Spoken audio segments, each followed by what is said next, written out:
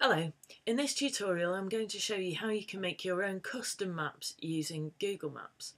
Um, so first of all you just need to go to Google Maps on your internet browser. Um, so the easiest thing is just put maps into a search engine and go to Google Maps and it will bring up this page here. Um, now you will need a, a Google account um, so make sure that you're signed into Google um, when you're doing this. Once you're on this page, go to this little cog in the bottom right. And if you click on that, you'll have an option in the menu that says My Places. If you click that, it'll take you to the um, page where you can actually start creating a new map. So if you see there's a red button over here that says Create Map, if you click that, then this is how you start um, to create your own map. And again, just click Create a New Map and it'll all be set up ready for you. So you'll then be presented with this page.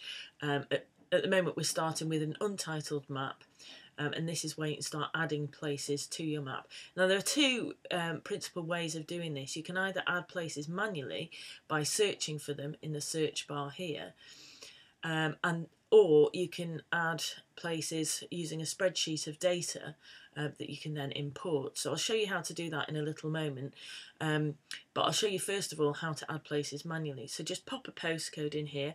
I'm going to use the postcode of um, Gibside, which is a National Trust place near me. So I'll just pop the postcode in there and search for it. And you can see it's brought up a pin here um, to show where the Gibside Estate is. If you click on that pin, um, you can then choose to add it to your map just by clicking add to map here. So I'm going to click that um, and it's now added that place to my map and you can see over here um, in this bar um, you can see that it's added the pin and the postcode. Now you can edit the information that it displays and you can edit the way the pin looks as well just by clicking on it. Um, there's a little edit icon here and if you click that uh, so rather than displaying the postcode which isn't all that useful I'm going to um, change it to say Gibside okay and you could add a little description in there if you wanted to. If you're happy with that click save um, now at the moment, obviously it's not showing any description next to the pin, it's just showing the pin. You can label the pin if you want to. So if you click label over here, at the moment it's saying no labels, but I could label it with the name. And the name I just typed in was Gibside. So you can see now it's showing you uh, the Gibside label on there. You can also change the way that the pin looks. If you click style, um, the Gibside pin is coming up here and if you click this little paint bucket it'll let you choose from a number of different options. So for instance maybe you want a star instead of a pin and you might want it to be blue. Um, you just simply click your options there and you can see that it's changed on the map. So we've now got a blue star rather than the orange pin.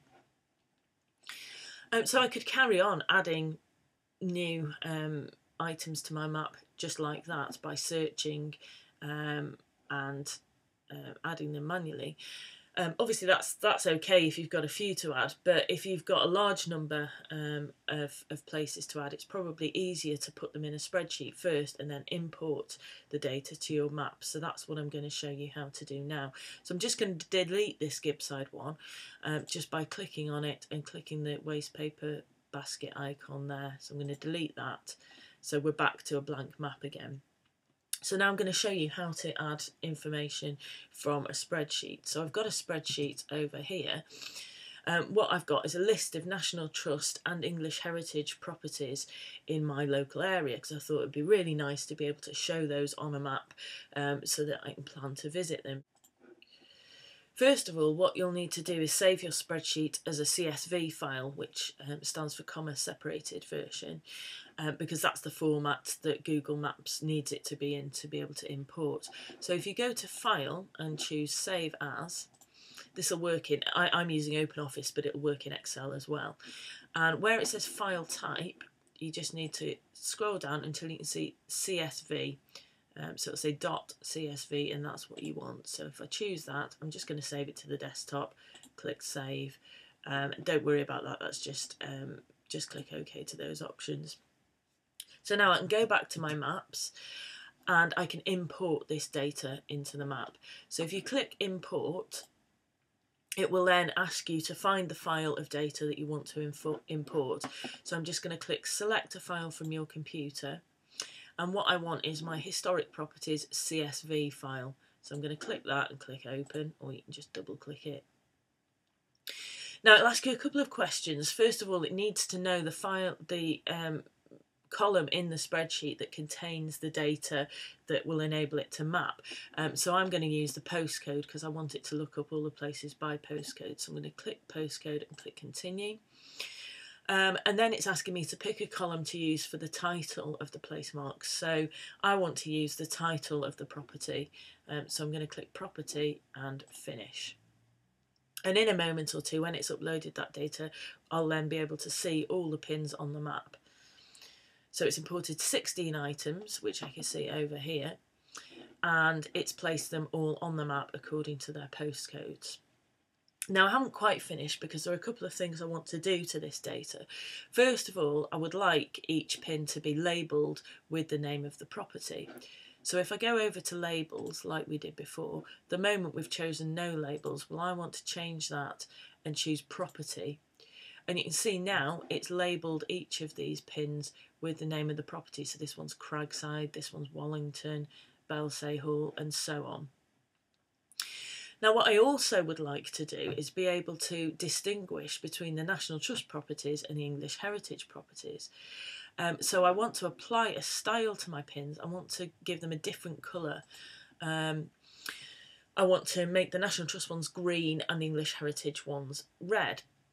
At the moment, we've got a uniform style, so all the pins are styled in the same way.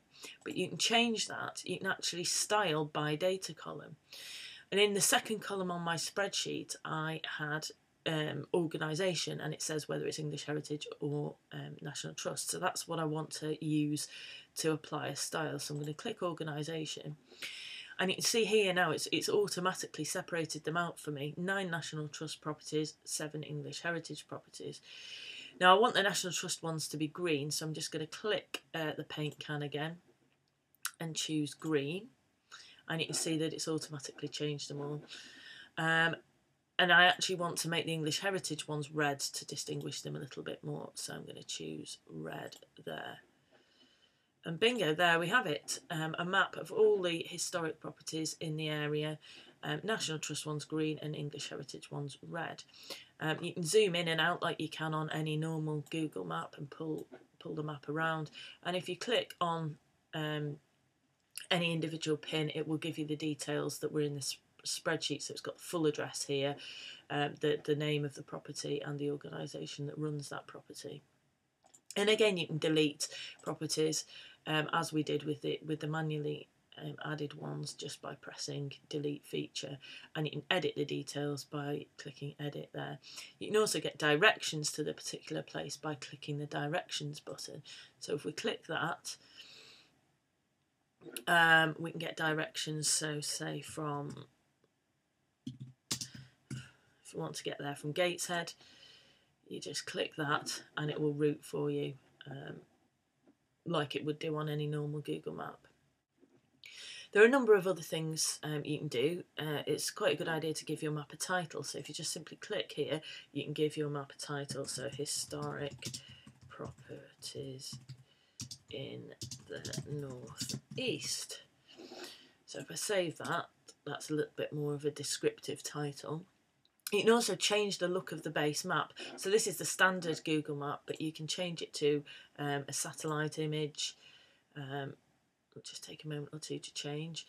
Um, or you can pick various other different maps, depending on how you want your map to look. Um, this is a very simple mono looking map. For most purposes it's probably best just to have the basic basic map. And finally, once you've got your map how you want it, you may well want to share it with other people. Um, there are two ways of doing that. You can click the share button and it'll generate a link to take you to the map.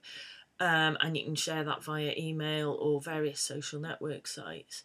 Um, but you do need to decide on your privacy settings. At the moment, it's set up as private, so only I can access it. Um, but we can change this Um, so you can make it completely public. Um, obviously, this doesn't have any sort of sensitive data in it, so you could make it public, or you could just share it with anyone who you've given the link to, or you can choose specific people. I'm going to make this one public because I'm actually going to show you also how you can embed it into a website. So I'm going to make it public on the web and save that. Um, so then I could just go ahead, take that link and share it wherever I want. And if people click on that link, they'll be able to see the map. I'll show you how that works if I copy it and paste it into a new window.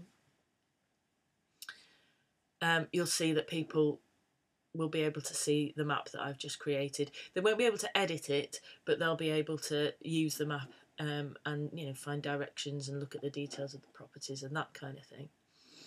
Okay, if I go back to um, so I click done for that. Now, if you want to embed um, the map on a website, if you click this little folder up here and click embed on my site, it will generate a code and you simply copy that code and put it onto your um, onto your website. It's outside the scope of this tutorial to show you how to do that, but if you are a webmaster and you run a website, that's how you get the code to use on your site. Um, I can show you a site that I've done.